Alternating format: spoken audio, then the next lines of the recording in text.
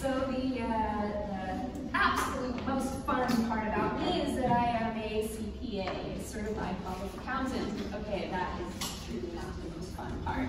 Uh, my husband and I, we have a recording studio up near Lakeway, and that is by far the more fun part, right? But, uh, what that also tells you guys about me is that yes, I, I know a lot about taxes, I know a lot about accounting, I know a lot about business, I know a lot about money, the more fun part about all of that.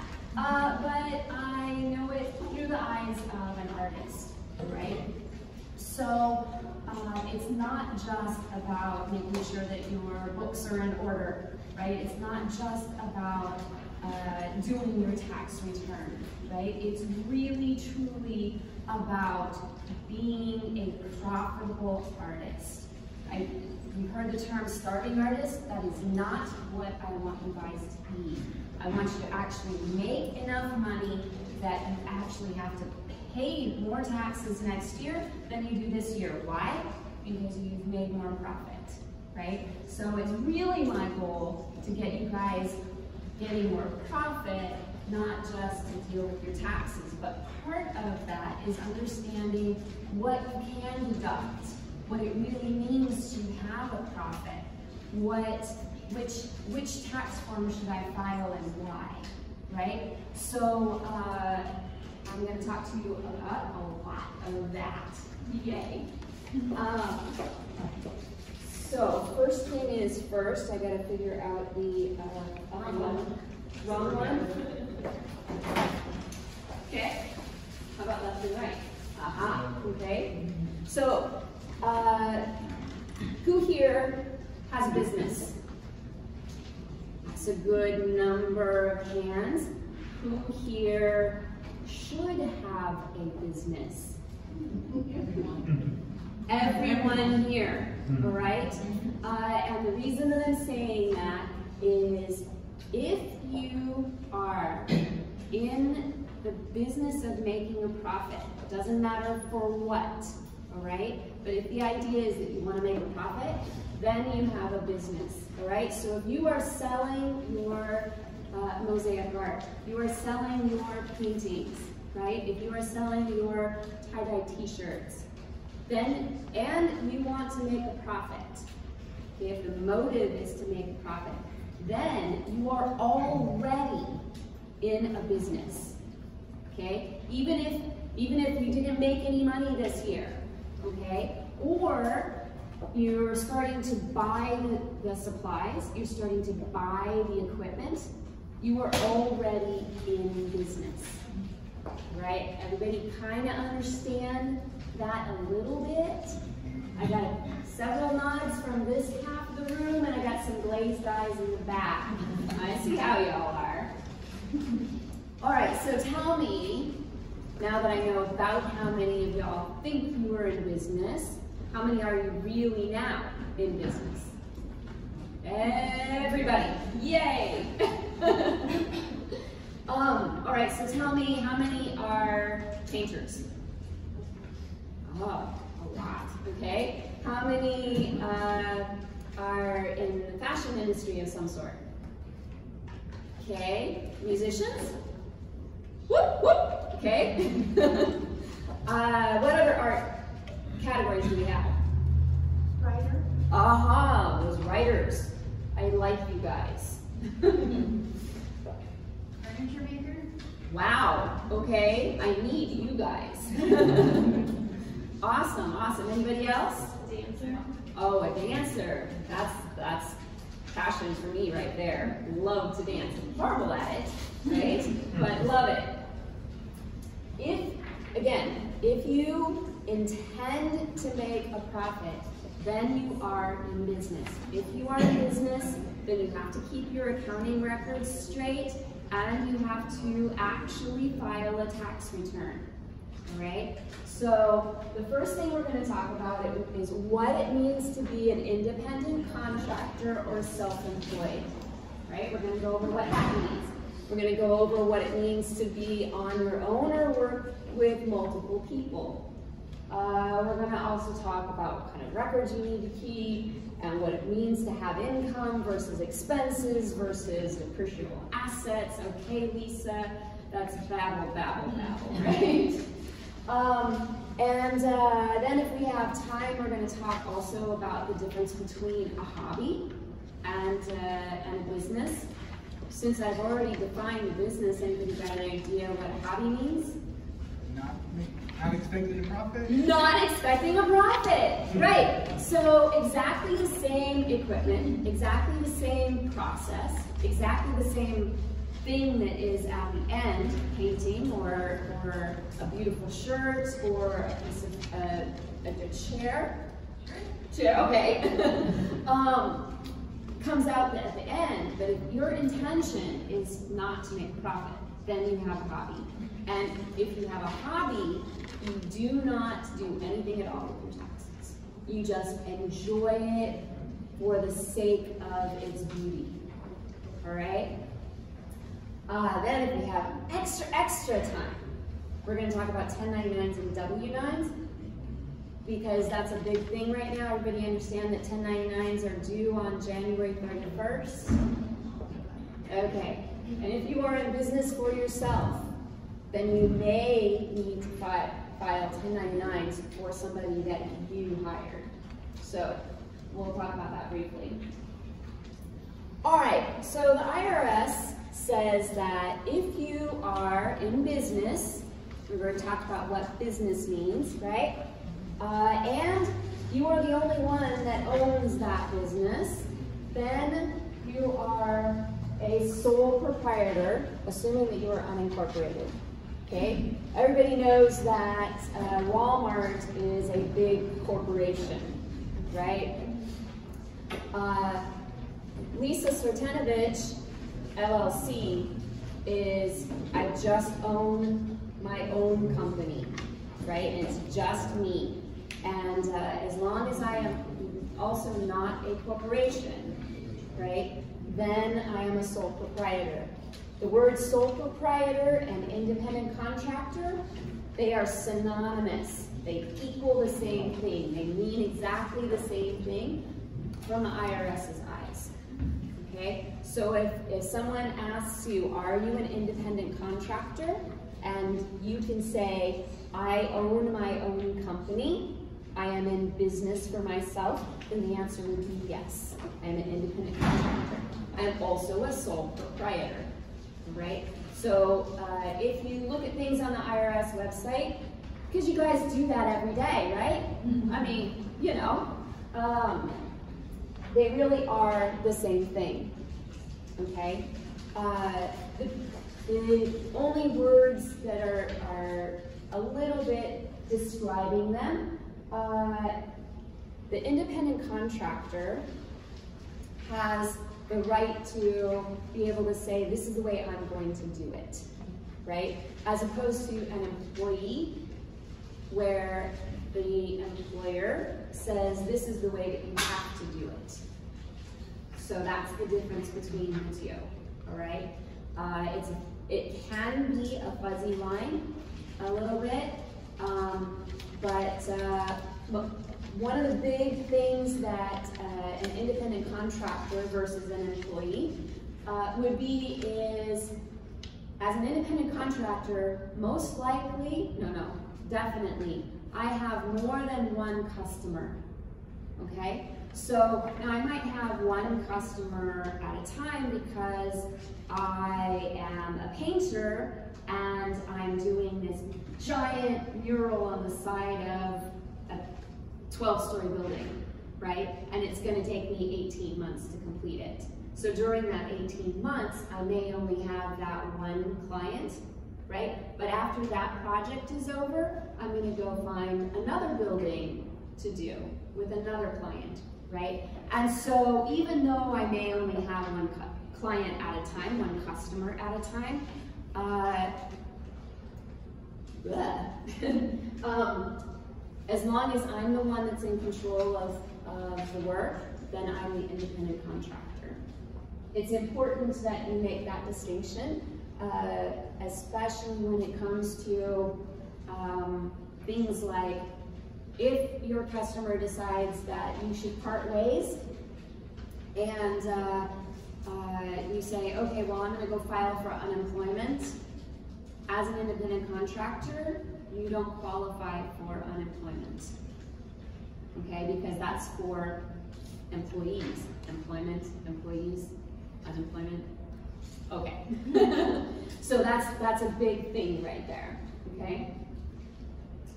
Uh, the advantage of you being an independent contractor is you get to say when and where and how and why, and it's it's my project, and uh, um, I get to charge you, and, and I get to take tax deductions that an employee would not get to take. Right? Now, if I've got a partner that's helping me run the business and they own the part of the business, then you're no longer a sole proprietor, sole meaning singular, just one, right? And so uh, if you have a partnership, then you actually have to file a separate tax return. You still get a lot of the same tax deductions, um, things like mileage and cell phones and business cards, right? So you still get a lot of the same deductions, but it's on a separate tax return that you and your partner have to kind of split up at the end, right? So who here is in a partnership? Yes. Okay, one, two partners. Okay. Um, the the crux of this discussion is going to focus a lot just on the sole proprietor. Uh, for the for the partnership, most of the deductions are exactly the same. It's just you will file a separate tax return. Uh, a independent contractor files their regular 1040 personal tax return, but with a Schedule C. So it's just an extra page in the whole tax return. A Schedule C. Schedule C is in cat or Unit coin. Uh, so you file your regular 1040 tax return. That's just your uh, personal tax return that you would file if you had a W-2 job. Um, and you file an additional page called a Schedule C. If you're. Oh, on a partnership? Oh. Oh, a partnership, that's it, that's a sole proprietor, independent contractor. Partnerships file Form 1065, 1065. If it is an S corporation, it would file an 1120-S, and a C corporation files an 1120. It's a nonprofit organization, that's in Form 990. I could go on, right? If you're a solo LLC, it's still a Schedule C for your ten forty, right? That is correct, and that's an excellent question, which was where I was gonna go next. See, great segue. Um, who here has a limited liability company, an LLC? Quite a few, quite a few people, right? As long as you are the only owner, then you are also a sole proprietor independent contractor. The limited liability company, LLC portion of that is uh, only to protect you from a legal side of things, all right? From a tax side, you just do the same thing as you would as if you did not have an LLC. Is everybody following me there? Which Yes. one goes first when you file the LLC? You do that one first and then your ten forty? Okay, so a limited liability company, if you are the only owner of that limited liability company, you are still a sole proprietor, independent contractor, and therefore you only file the ten forty with the Schedule C. Just as though you didn't have the LLC. The LLC gives you the protection, the legal protection. Now, I'm not a lawyer, so I can't give you legal advice, right, on, on what the legal side of a, a limited liability company does. but just by its name, it limits your exposure to liabilities. um, uh, so um, it helps protect your personal assets, right? All of your hard-earned money, right? But from a tax perspective, there's no difference between uh, a limited liability company that's owned by just one person and somebody who doesn't have a limited liability company uh, but is a sole proprietor. You still just file tax form 1040, your personal tax return, with the Schedule C. Uh, super. What's the schedule C again for? Schedule C is when you are a sole proprietor. And so what it says is, this is my income, these are all my expenses, this is the profit I made, and then I'm gonna pay taxes on that profit. So it lists out your income, your expenses, and your profit. Schedule C does that. Schedule C. Mhm. Which is why you want to keep your accounting records, all of the stuff that you do on a daily basis, you want to keep that up to date, not just for your tax return, but that's a pretty important reason why, right? Uh, so we just talked a little bit about income, right, being at the, at the top of the Schedule C. It's gonna ask you the very first, mean, very first line, almost the first line says, how much sales did you have, right?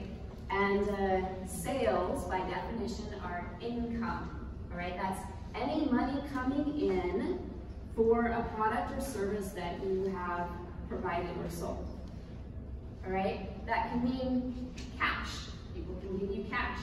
If they give you cash, you still have to count that as income and report it on your Schedule C. Does the IRS know about it? No, probably not, not unless you, from that one uh, person, uh, charge them more than $600. But uh, you're still required by the IRS to report that money. Yes, ma'am. Um, if part of my invoice is for services rendered and then the other part is for like the supplies, Yes. that supply portion is not income, correct? It's income. Okay. Okay, follow me here, all right? If you just said, what do you do? I'm in fashion. Okay, in fashion, uh-huh. And so, uh, you're going to create for Lisa a beautiful ball gown for the uh, award ceremony that I'm going to get for doing this presentation, all right? um, and uh, you're, you're going to charge me $1,000 for this, for this ball gown.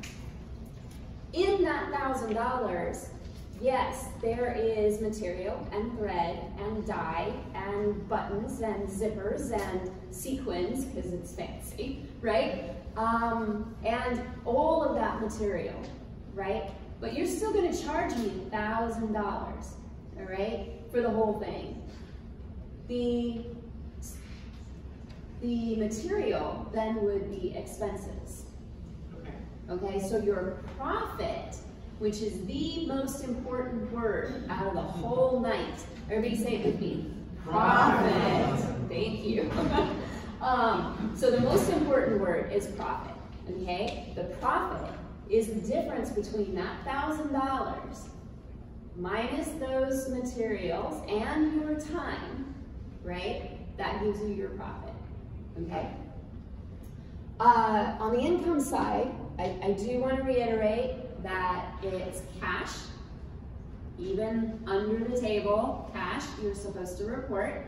Uh, credit cards, checks, Bitcoin, even if, uh, okay, for this ball gown, right, I'm gonna uh, exchange uh, four hours worth of tax return help, right, for this ball gown. Uh, that would be a barter situation, and both of us would have to count that as income. The expense, however, would be that you sold a gown with all that material and I sold my services on my end, right? And as it turns out, because I'm selling it to you for a thousand dollars, my expenses are a thousand dollars, and my net profit is thousand minus thousand is nothing, right? So most barter situations end up netting to zero. All right. Have to be reported. but they still have to be reported, yes. So you would still count it as income. I would still say that I had four hours of accounting services uh, rendered, and then I had an expense of a thousand dollars. Right, so, and she would report a thousand dollars for a gallon sold and a thousand dollars worth of uh, CPA work. So a barter situation, you still have to report it. Most of the time, you would do it because it evens out, right?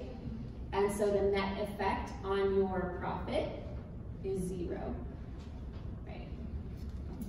Um, But, but having said that, I would imagine, say that the person that you're doing the barter with, and we both agree, can't report it, just kind of do this barter, we're keeping it between ourselves, so you don't have to worry about the paperwork. You get away with that, right? Mm, okay, I'm gonna give you the same answer that, that, uh, about the cash.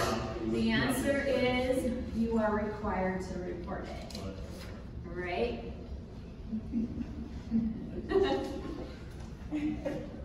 Uh, if you don't, and the IRS somehow or another finds out about it, uh, then they could assess fines and penalties for you under reporting your income. Right, now, of course, they would have to find it, they would have to prove it, and, you know, i- is that a lot of work that the IRS may not wanna deal with? Right? Maybe, maybe, but the IRS is becoming more and more sophisticated, guys. They really are. Uh, ten years ago, I wouldn't have worried about it so much. Nowadays, the, the programs that they have that can dig into, uh, how you're reporting your taxes and what kind of income you have, what kind of lifestyle you have, they can cross-reference a bunch of things, right? So, um, just be aware that, that they're becoming much more aggressive now. On the expense side, uh, we talked a lot, a, a bit about materials, right? And most, uh, most artists, especially those that have a tangible product that they sell, right? Um, they understand the material side of it. But let's think about a, a, a dancer, right? Um, you don't, you don't have any, uh, well, you have some materials that you buy, right? I'm sure that you have to have uh, a, a costume or an outfit that you perform in, right? But uh, your your materials are going to be really, really small. So you want to focus uh, your attention on the other type of tax deductions that you can take, on the other expenses that you incur because you are in business. All right? So if you are in business, one of the one of the really big things, aside from profit, that you might want to take away from tonight, is thinking about yourself as a real business, and that's because you have a motive of being uh, of profit, right? Uh, but in order to not be seen as a hobby, you want to make sure that you have a lot of things in order, okay? Um, and that way you can legitimately take all the rest of these types of expenses that we'll get to in just a second, but I want to throw out some ideas of what it, what the IRS thinks about when they start thinking about are you truly in business, right? Uh, if I walked up to you and said, hey, I'm a singer, you would laugh at me.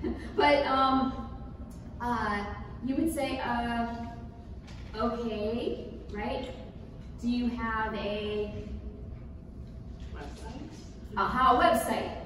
Right. Do you have a Performance calendar, business card. business card, performance calendar, right? So things that show to the outside world, right, that you are legitimately in business, okay? Uh, another thing that the IRS really heavily relies on is a budget. Okay, so if you've got a budget, if you've got a website, if you present yourself as though you are a business, right? Then it really, really solidifies the fact that you are, right? A budget shows them uh, that you have a profit motive because a budget says, this is what I think my expenses are gonna be, this is what I think my, my income is gonna be, and therefore I'm trying to get more income than, than I have expenses in order to make a profit. Yeah, so, uh, the other thing that you really want to have is two different bank accounts.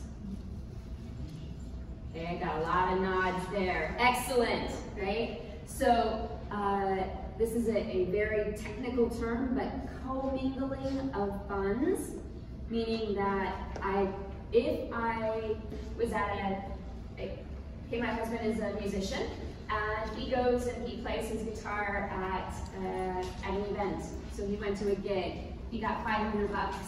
If he brings that $500 and on his way home, he stops and fills up the car and buys the groceries and, uh, you know, buys me flowers.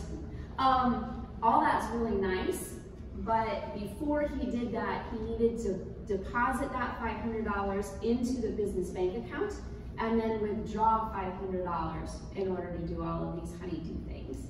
And he really is that nice. um, but, uh, so you need to make sure that you don't pay your rent out of the same bank account that you have your money, your income coming into, okay? You don't buy groceries, you don't pay for your gas. This is maybe a nitpicky question, but if like I get paid via PayPal and my PayPal is connected to my personal account, can I just put it in my personal account and then transfer it to my business account? Yes, and then transfer it back. If oh, you Oh, need well, pay your rent. Sure, okay, yeah, but I, but doing the steps Yeah, still counts. Okay. That's fine. As long as it ends up there, so Yeah. that you can say, the money ended up there, the income is there, and then I dispersed it back to myself. Yes. And when you spoke about rent, um, if you have a business use for your home or part of your home, Uh-huh. does that get confused? You, does part of the rent come from your business account? Uh, no, it does not.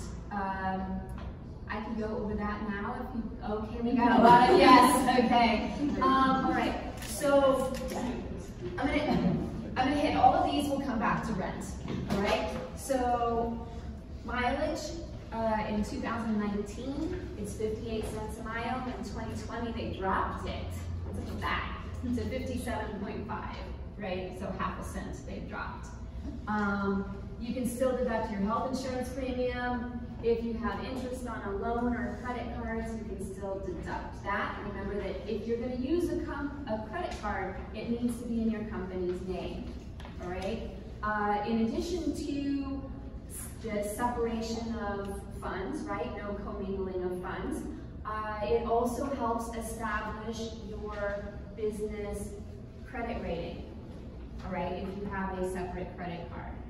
Um, if you have legal or professional dues, like uh, if you're a member of TALA, right? Those dues are, are an expense in order to run your business properly as an artist, right? I'm gonna skip rent, we'll go back to it.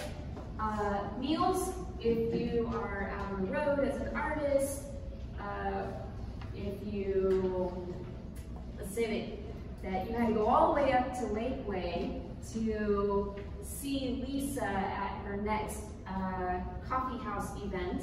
About uh, once a quarter, I do talks similar to this about a business topic, and you buy a cup of coffee out there. Because you're not, you had to go there and it was an event, you could write that cup of coffee off. But it's only 50% deductible, right? Uh, IRS says, eh, you're human. Everybody has to eat, And so, uh, we're not gonna give you a full deduction on it. You're only gonna get fifty percent deduction for business because you had to eat regardless of whether or not it was business, right? The same fifty percent also applies to like a cell phone bill, right? You use cell phone. No, no. The cell phone bill is, uh, you have to allocate how much of your cell phone bill is for personal and how much of it's for business. And in my case, how much of it is for my CPA business? How much is it for the recording studio business? How much is it for the uh, property investment business? How much is it for the, we- have like six or eight businesses, right? So my one cell phone bill gets allocated to each of those. If you have a reasonable allocation process, then the IRS will accept. Uh, if you only have one business, aside, you know, just one, uh, don't allocate more than fifty percent. Especially now that we can do everything on our cell phone, right? Uh, the IRS knows that you're doing personal stuff on, on that phone. What if you have a separate phone?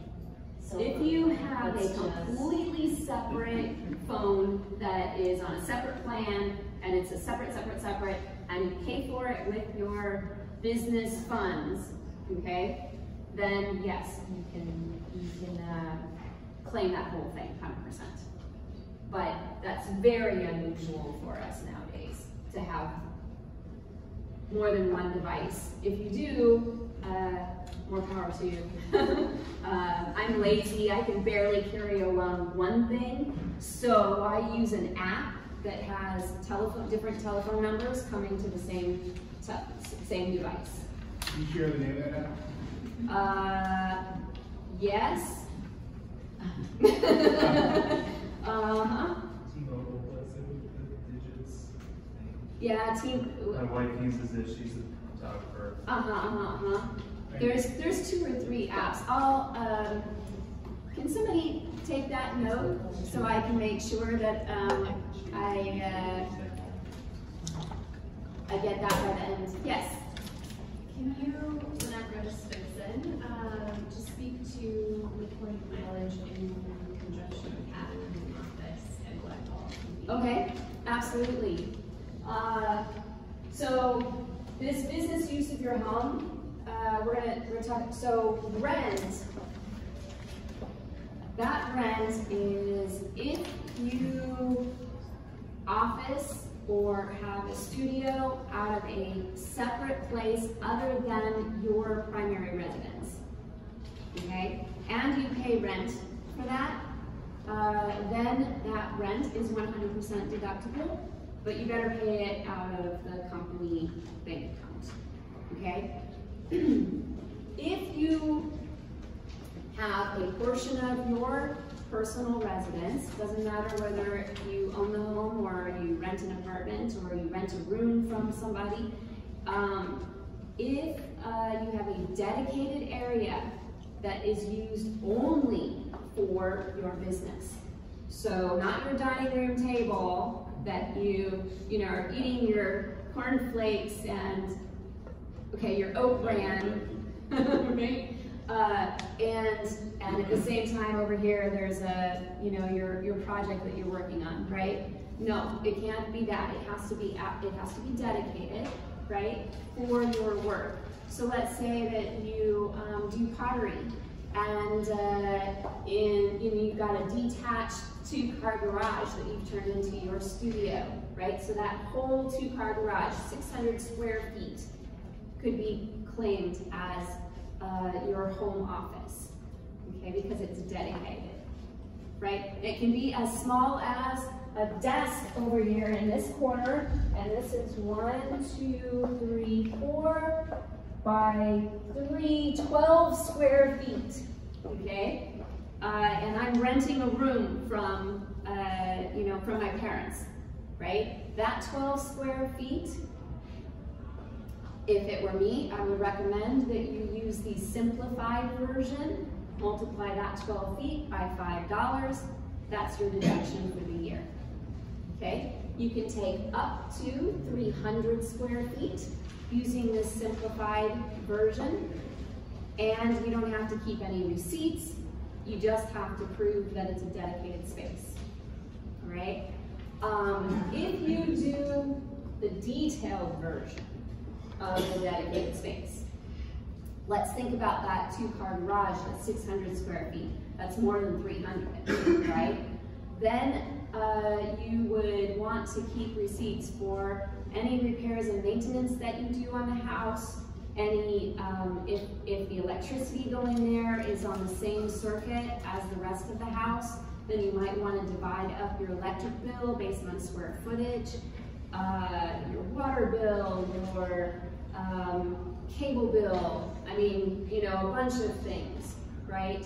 Uh, allocating it based on square footage is one of the most common ways to allocate.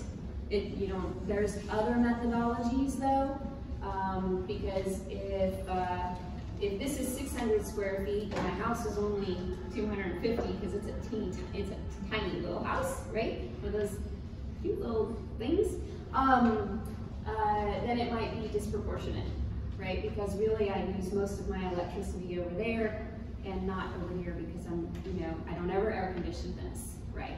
Um, but uh, anything that's reasonable, square footage is the most common, right? But if you if you use this detailed uh, version, you have to keep copies of the receipts. Um, I will note that electronic copies of receipts are fine now. So a PDF, a JPEG, on your phone, right? You don't have to keep the paper, but you do have to have a receipt. Yes? What if you don't have receipts for your rent? Or how would you? Well, you have, uh, I would say that you most likely have a, a rental agreement with the apartment or your landlord. And you could use that. Uh, if you don't, then hopefully you at least have a canceled check that you wrote to that person. If you're paying them cash, I would say maybe go to them and see if you can't get them to sign a little thing that they received, you know, $400 from you this month and at least you've got something, right? Uh, really, it's more that good faith. I'm trying to prove to you, Mr. IRS auditor, that I'm doing the right thing. Would a notarized document work? Or no? Yeah, Okay. yeah, From the renter from the, or landlord. landlord. okay. Yeah, If you do simplify, you don't have to keep, you don't also deduct your bills. You- you cannot. You can. You can only do one or the other. Uh-huh. Lisa, what, what was the formula again for the square footage? Five dollars per square foot, and that's for the whole year. So there's a max of uh, fifteen hundred dollars. Um, yeah, if you're purchasing, uh, tooling or any machines off of Craigslist, Yes? um, how do you go about doing receipts? Uh-huh, receipts for that. So, uh, what I've started to do, because, uh, my husband loves Craigslist, right? So what I make him do is when he, uh, you know, on Craigslist, you have a little reply button. Um, and it allows you to send an email or text or something, right? I really try and get him to send an email with uh, a link to the to the exact page in Craigslist so that it comes up with the item in a pic, you know, because almost everybody has pictures, right? Um, so uh, that it's detailed out what it was that you bought, right? And uh, then I would save that email as a PDF so that I've got a receipt of, in effect. So essentially like a screenshot A of the screenshot would be perfect, Okay. perfect, right? Um, if you have your own house, can you deduct a portion of your property taxes?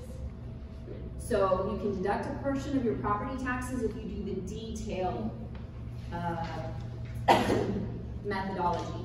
So like if your studio is ten percent of the size of your little house, then you Then can take ten percent of the ten percent property. of the property tax. But you can't do both, as you Right, pointed out, you can't it's a do. So just, uh, let's say like if you're a person, that, let's say went through a divorce and you lived in four different places last year, you kind of screwed, right, in terms of all the math you have to do. Yes, yes.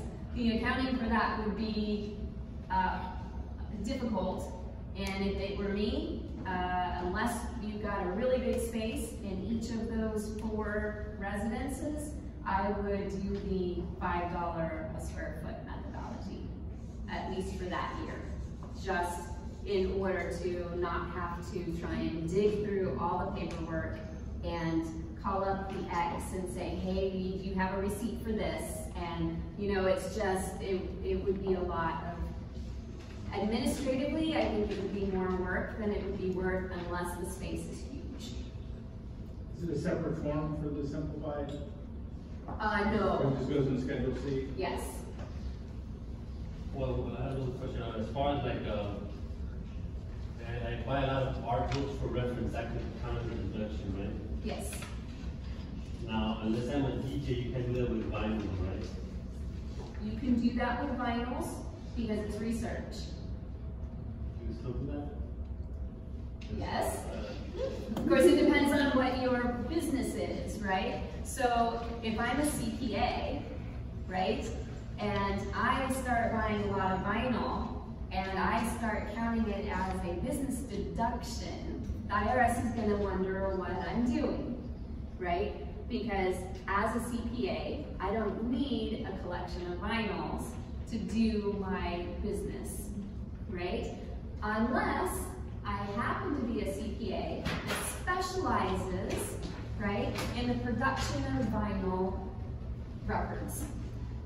Okay? If that was the case, it might be uh, important, like critically important for my business to understand how vinyl is is manufactured, how it's processed, how, you know, the whole thing. Right? So it depends on your business. The, the real answer. And the, the, the real answer to almost any expenditure is, is this necessary for my business? If it's necessary for your business, uh, then it's a deductible expense. Other things like advertising, right? I mean, you gotta get customers, you gotta get clients, right? So Facebook ads, um, uh, flyers, business cards, right? Um, education, so, um, you know, if, uh, if you came to Lisa Stratanovich CPA and you wanted to take her business coaching class, right? Then, uh, that expense would be a deduction for your business, right?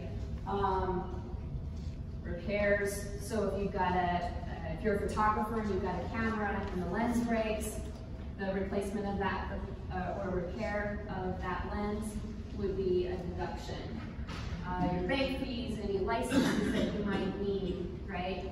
Um, so again, if the expense is used for both you and, uh, you personally and your business, then there has to be some sort of reasonable allocation. Yes? What about someone's yoga teacher saying they do yoga clothes, but then, so someone, as CPA runs someone, well, if you wear those yoga clothes to the store afterwards, don't deduct them, but at the same time, you have to buy yoga Like, you can walk in a flowy dress, right, have. So, uh, the question of, uh, of uniforms, uh, it's pretty specific and IRS is getting really, really narrow on that. Um, uh, if you have a business, let's say you're a plumber, right? And in order to walk up to somebody's house, you want to make sure that your uniform says Joe's Plumbing Service on it so that they're not scared to open the door, right? Um, and you want all of your uh, staff to have the same look and feel because you're very passionate about being a creative plumber. And um, so uh, you want all of your staff to have the same uniform. It's all a white shirt, Joe's creative plumbing on it, and khaki pants, right? Everybody has to wear that every day that they work for you, right? That's a uniform. Could you go to Walmart wearing Joe's, you know? Of course you can, right? But you wouldn't normally put on that attire to go to Walmart or go to, you know, the opera, right? So uh, if you are a yoga instructor and the place where you're instructing at has a uniform that they have you wear, then that is a deduction. But if you are a yoga instructor and you just want to wear yoga clothes, it's not going to count. The, uh, the dancer, uh, it, it's a little bit different because they can't perform without a particular outfit, right? A particular thing. Um, but for the most part, uh, you're like, I have to dress somewhat professionally anyways, and I don't get to take any deduction for any of my clothes. It really sucks, right? Um, but, uh, so the answer there is, uh, on the yoga clothes, probably not. What about something like steel-toed boots for a construction site? Like if you're painting a mural? No. Even if it's required by the company that's hiring you as a sole proprietor? That would, that would. Like if it's in the contract, Right, has to be right. like Now that- and a, and steel-toed boots or something? Yeah, that would qualify as a uniform. Okay. Okay. Uh, and and maybe right in order to say stay, stay safe, mm-hmm. it could be kind of part of the material. Yeah, it's like kind of safety equipment as well as. Right, like, right, right. You know, garments or whatever. Garments, right. Let's say uh, I buy, I just finished buying this beautiful white jacket that I want to use for painting, you know, I put my logo on it on the back, like it counts as an expense. Yes. As long as, as long as advertising that's what it's used for specifically, right? Correct. And see, that would flop over into advertising. So if you want your yoga clothes, right, to be deductible, start embroidering them, right, with your logo, right? And then all of a sudden now your normal yoga clothes are are advertising. You can buy it to the boots, right? You, c- you could do that too. I have a specific question about supplies. Um, as an artist, you collect supplies over the years, and then as you're starting to, you know, build your business, you're using the supplies that you bought for several years. Are you allowed to like do deductions for things that you purchased even like ten years ago or five years ago, or? Okay, so uh, when you purchased that, it was a deduction in that year. Gotcha. All right, so you already took that deduction five years ago Gotcha. on your tax return. Okay. All right, But anything purchased in? in 2019 Yeah. would get deducted in 2019. Okay. Um, uh, let me talk about mileage real quick uh, before I jump to the next topic. Um, so, with mileage, it, who here has a studio? Who here has a studio that is not in their house? Okay, a couple people. When you go from your house to that studio, that is not deductible miles. If you go from that studio to a client, you get to deduct miles. Capture them. You have to say what day it happened, where you were going, why that was a business trip, and how many miles you went. By studio, do you mean home office as well? Same, same, not same? Same. Okay. Studio, office, place of work. I have to go from my apartment to my, the post office That's- five times a week. That's deductible. Okay. As long as you keep track of it. You have to have another. Tracking app or something. I've seen a bunch of Yes, that. kind of IQ is a great one. I remember that app. right? Um, Mile IQ, uh, if you have QuickBooks Online, uh, uh, Mile IQ is included now in your subscription. Um, so that's, that's pretty cool. You can be super old fashioned and keep a little notebook, right? Um, on January 1st of every year, through the fog of the hangover, go out to your car, write down the beginning mileage. Okay? That's the very first thing I want you to do on January 1st. You are going to remember me on January 1st, okay, of this coming year. Go out, write down the mileage, all right? Because you have to, uh, on the tax return, you have to put beginning mileage and ending mileage, all right? Um, yes, This silly question. If you're going from the studio to buy some materials, that's deductible. Right, that's a business purpose, right? Going from your home to the place of work that is a consistent place of work, right? And, and vice versa, right? Is not deductible. That's called a commute. Everybody here is familiar with that word, right? In Austin. Um, so, uh, uh, the commute is not deductible, but just about any other business use of your personal car is deductible. Okay? Coming to the Dougherty Arts Center tonight, count it.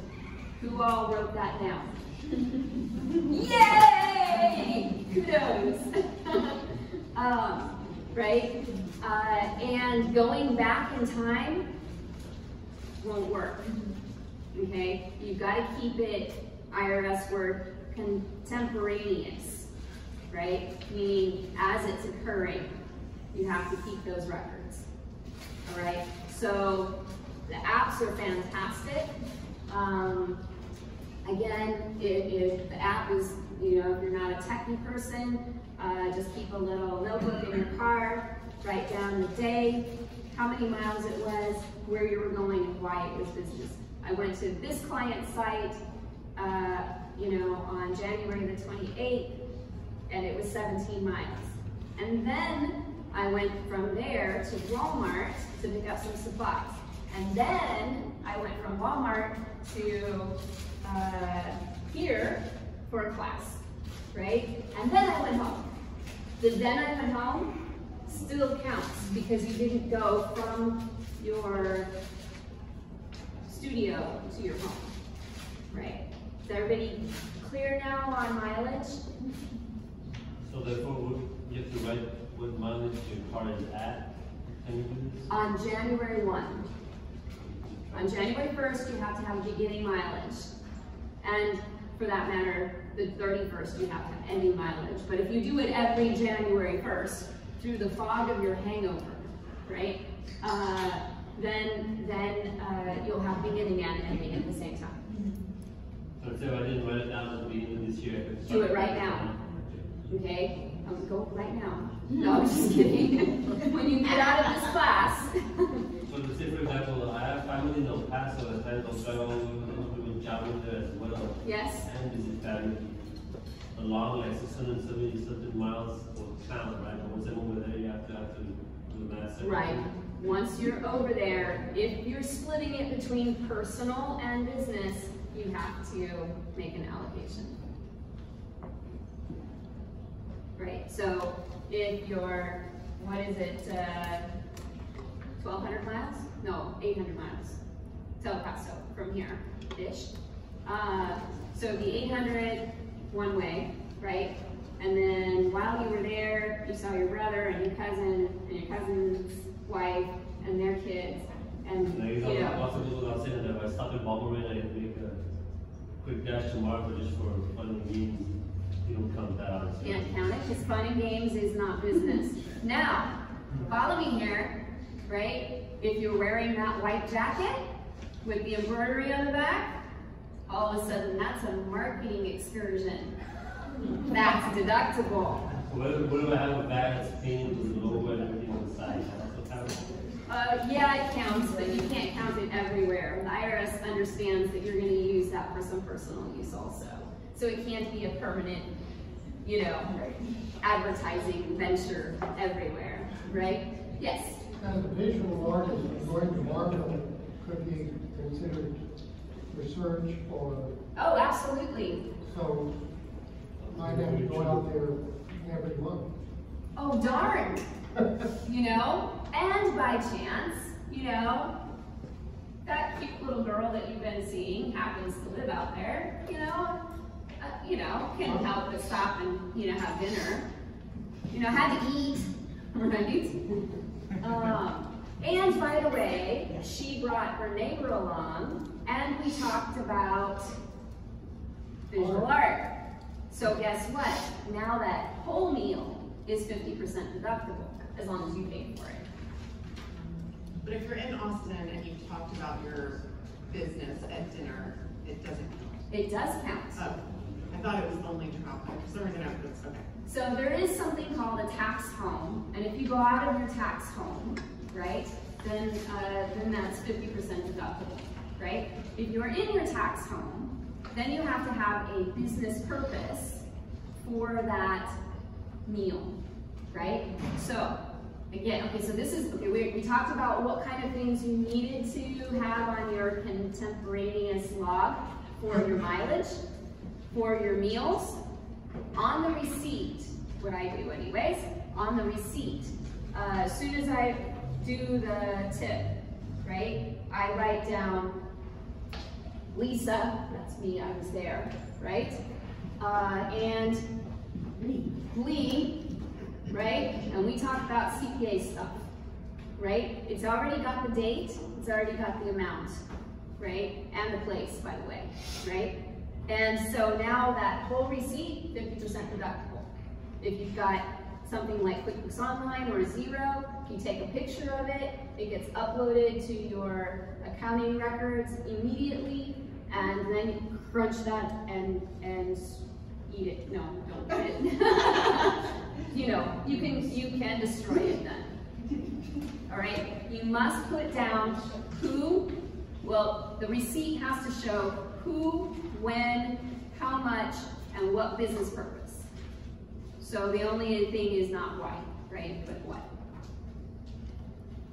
Everybody cool on meals and mileage?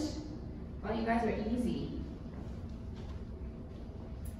Um, so we talked about Form 1040, Schedule C. Yes? Meals, is Meals. the tip, is is the tip included in the percentage deductible? Yes. Now, the IRS might question it if it was a, you know, $17 hamburger and beer, and you left a $100 tip. They might wonder what's going on, right? But if it's a reasonable tip, then yes, the tip is included in, in the whole Yeah, we're thinking deductible. like Sinatra, you know, like, Oh, yeah, I'm gonna get there someday. um, all right, so if you are in business, how many of y'all are in business? Yes. Um, then not only are you subject to income tax, but if you're a sole proprietor, you're also subject to self-employment tax. That's your Medicare and Social Security, right? Once a quarter, you guys have to pay estimated taxes. Who here is paying their estimated taxes quarterly? The Oh, sales tax ones or? no, your income tax and your self-employment tax. Okay, so uh, we're gonna skip to the next, the next thing uh, because um, EFTPS, all right? Forgot what it stands for, Electronic Funds Transfer some, some system, right? Uh, it's the IRS's way to help you guys get your estimated payments in uh, easier, right? Sign up for this. Uh, the back of the little handout, uh, I believe there's, can't get there fast enough. Yes, uh-huh, this EFTPS right here. Sign up for that. Um, your, because you, you have to pay quarterly estimated payments. Mm-hmm. Okay, so if you have, who here has worked at McDonald's or, or somewhere you got a W-2? Has everybody worked at one point in time? Okay, when you had this W-2 job, you know that you were working for $10 an hour and you worked for five hours, but your paycheck was not $50, right?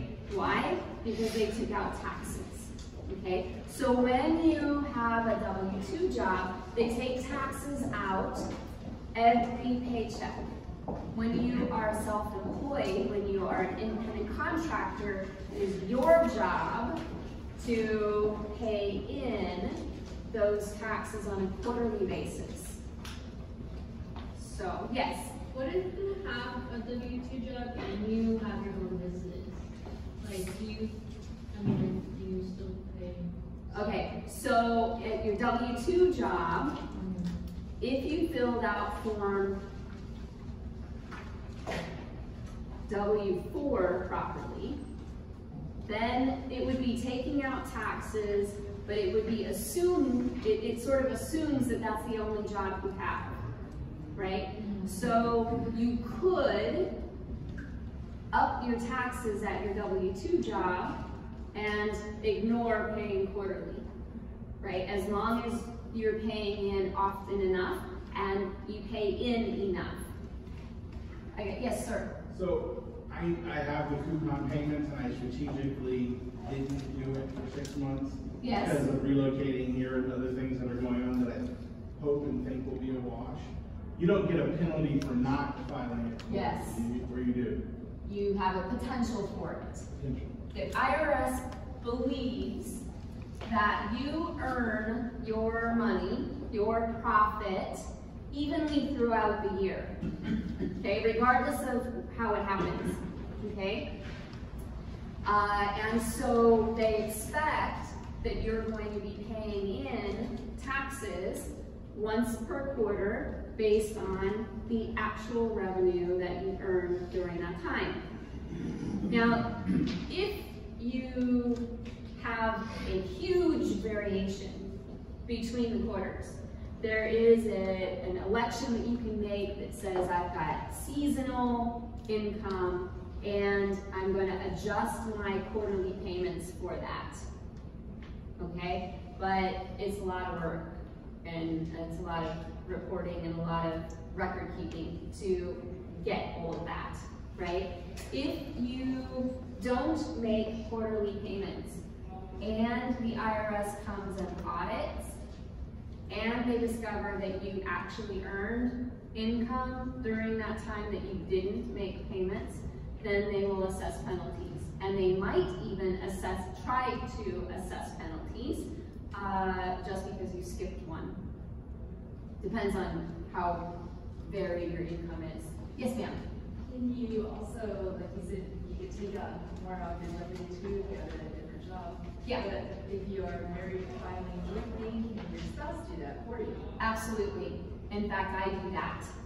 Uh, um, my my husband's recording studio is a little more volatile, and uh, my CPA practice is a little bit more.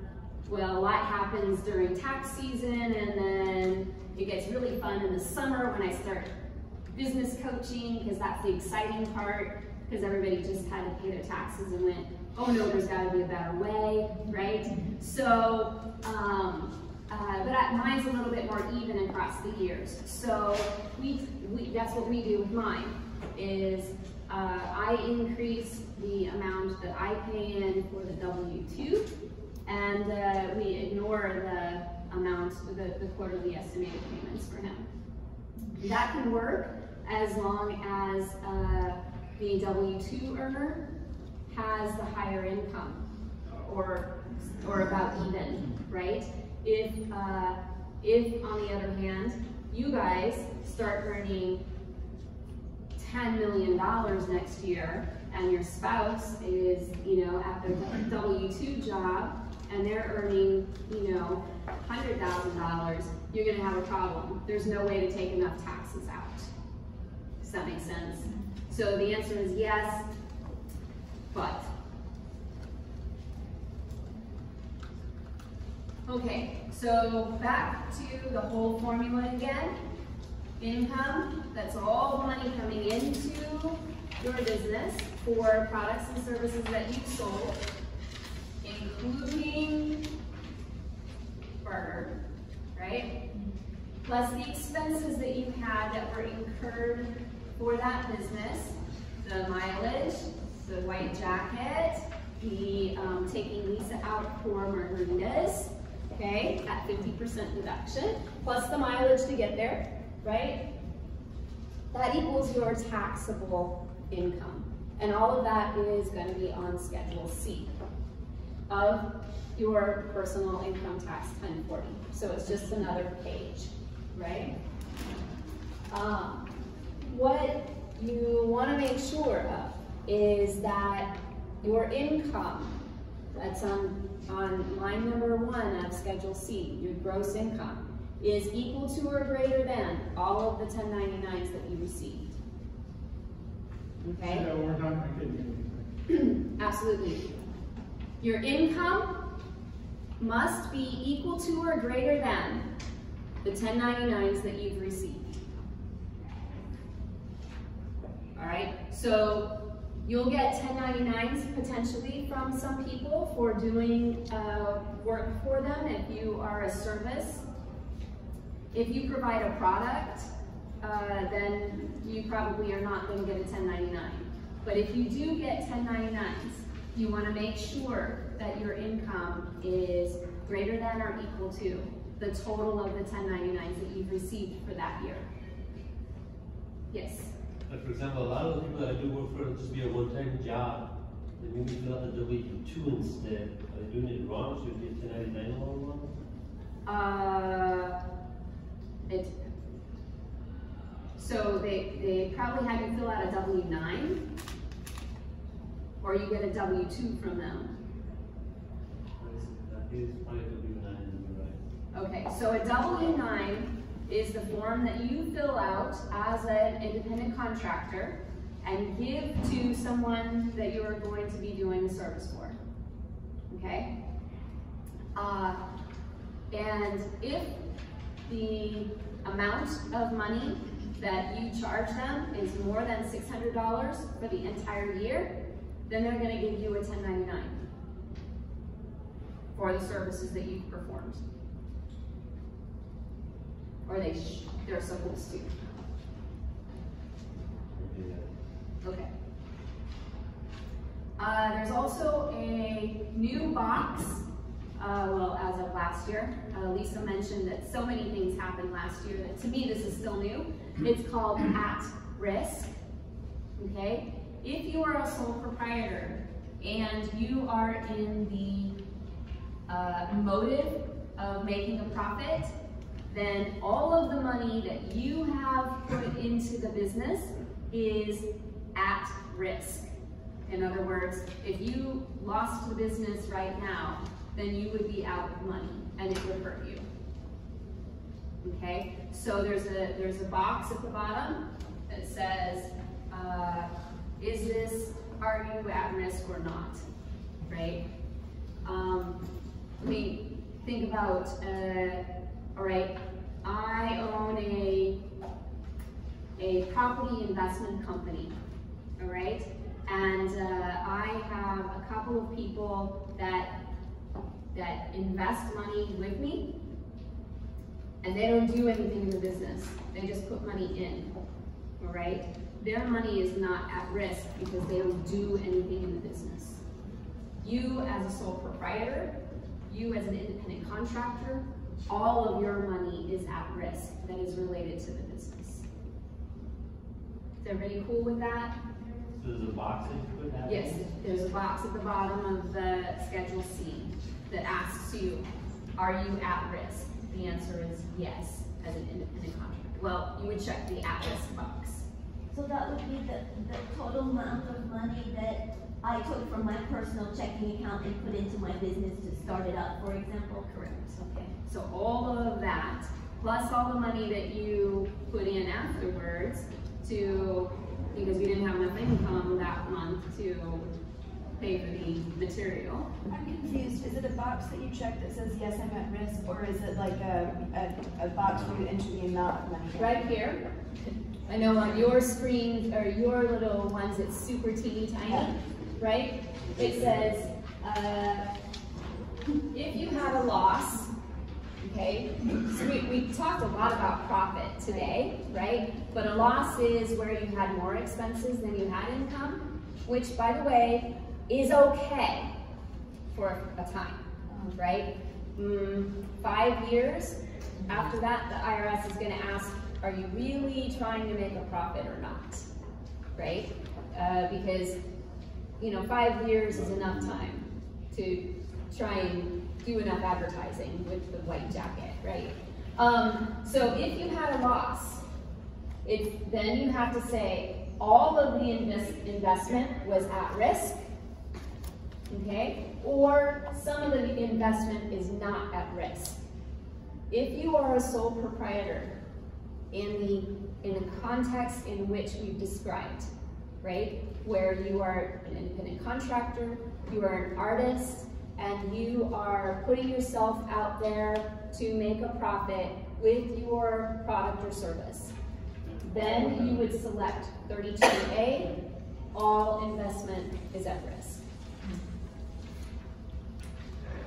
Everybody cool with that? I know, forgive me, covered this, but what if you don't get a ten ninety-nine from a project or, and you know how much you got paid? Uh-huh. That's, that's exactly like cash under the table. You still have to claim it. No, I know, but like, what if you don't, what if they don't send you? It's irrelevant. What Okay. they do, they, they, they should have. Yeah, If but you, sometimes oh, a lot of time. ten ninety-nines tend to like not always. Yes, I, I completely Yeah. agree. And it's, uh, their bad. They should have if, if you, um, uh, charge them more than six hundred dollars, right?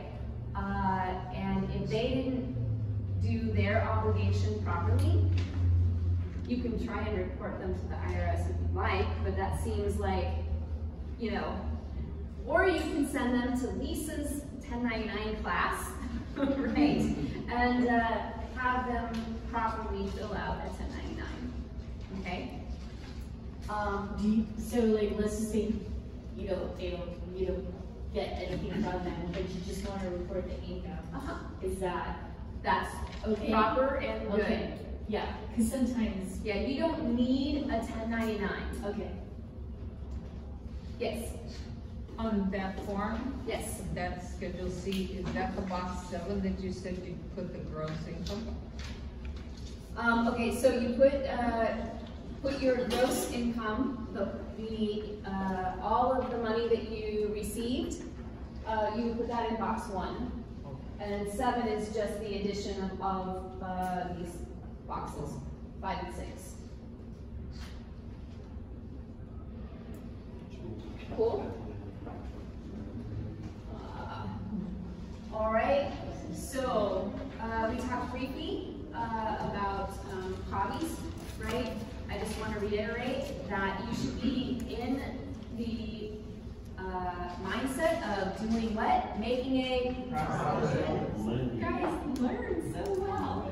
Um, and in order to like sort of prove to the IRS that you are a legitimate business and you are in, uh, you know, in it to make a profit, uh, again, having a DBA or a limited liability company, an LLC, helps solidify that a little bit, makes you look a little bit more businessy.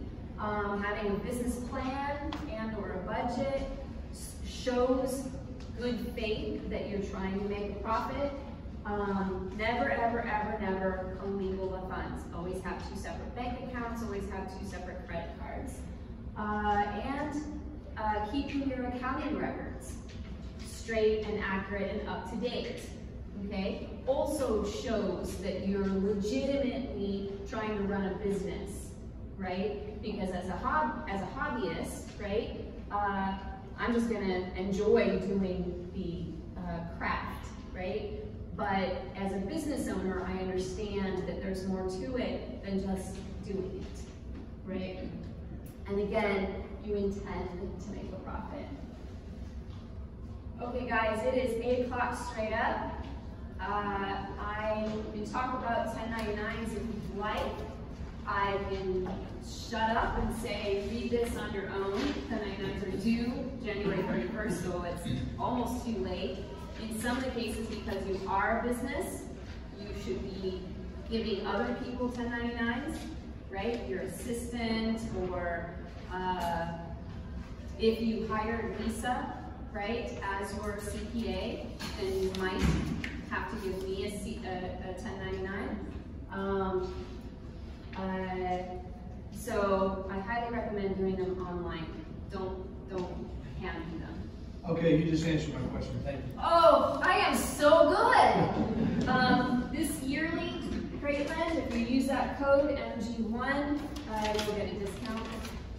It's a it, it costs about uh, $3.99 or $4.99 per 1099 that you have to file. Uh, but believe me, by the time, if you do it, if you hand do it, first of all, you have to have the right form. You can't just download it, okay? Uh, you have to have the right form. You can get it from Office Depot, or the IRS will give it to you for free, but it takes forever and ever.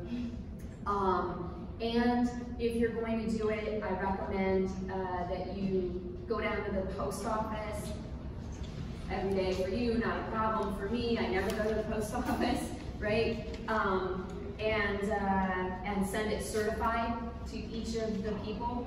So by the time that you spend the time to do that, pay for the certified mail, have the envelope, get the form, it's still going to be three to four dollars, right? So you might as well just do it online in your jammies, right? Um, Are you recommending that I, wasn't planning on doing any for the ones under six hundred. Under six hundred, don't touch them. Sort of as a solid to them. Uh, it doesn't, so you can file 1099s for everybody. You're required only to file 1099s for uh, services over that that were rendered to you as a business uh, that you paid $600 or more over the course of the whole year. And they are not a corporation. That's the gist. It gets a little more complicated, but that's the gist. The only exception is rent. Maybe this is complicated, maybe it's simple, but if you hire a friend for $600, that $600 is then something that you can count as an expense. Right? Yes. Okay. Yes which is why the IRS wants you to give them a 1099 because they need to count that as income. Right. And the IRS wants to know about it. Talking about that, um, this is a clarification question. When I was making your ball gown, I oh yes, and it's gorgeous. Thank you. Uh, so I have five hundred dollars in supplies, and then you said my time was an expense. Uh, when you're calculating your book profit, I recommend calculating also an expense for your time. When you're calculating your tax profit, your time doesn't count. So when you explain yeah. yeah. okay, so I want you guys to make not just a tax profit, okay? Uh, but I want you to actually be extremely successful in your business, all right? And in order to do that, you have to take into consideration money that you need to take out of the business, right? And as a sole proprietor, you don't have a paycheck like you do as a W-2 person, okay? So what you have to do is you have to say, here was my income, here's my expenses, the materials, okay? This is my tax profit, all right? This is how much I'm gonna have to pay taxes on, right? And out of that, after the taxes, that's what I get to live on, okay? I want that to think about, okay, if I had to pay someone else, how much would I have to pay them per hour to do what I do? All right? And sometimes that's a really hard question, especially if you don't have a really good group of, uh, of people around you that you can like bounce ideas off of, marketing and advertising and pricing, okay? So that has to include, this part down here is how you get to pay yourself, so to speak, right? And so I want not only for you to be able to pay yourself a, a reasonable, solid hourly rate, right? I want you to have money beyond that, okay? Because I want you to be able to reinvest in the company. I want you to be able to spend more on marketing so that you can get more customers. I want you to be able to hire an assistant because you have so much work, right? The only way to do that is to make sure that you pay attention to your hourly rate, or at least the project rate, right? Uh, so for your taxes, as a sole proprietor, your hours don't count.